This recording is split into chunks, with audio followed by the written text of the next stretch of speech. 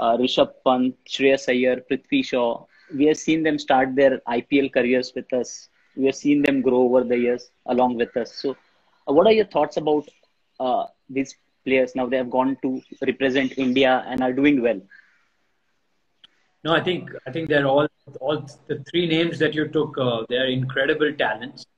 Uh, they're I would say national treasures for for the country, and I think Delhi Delhi played a very big role in uh, giving them the the platform to succeed.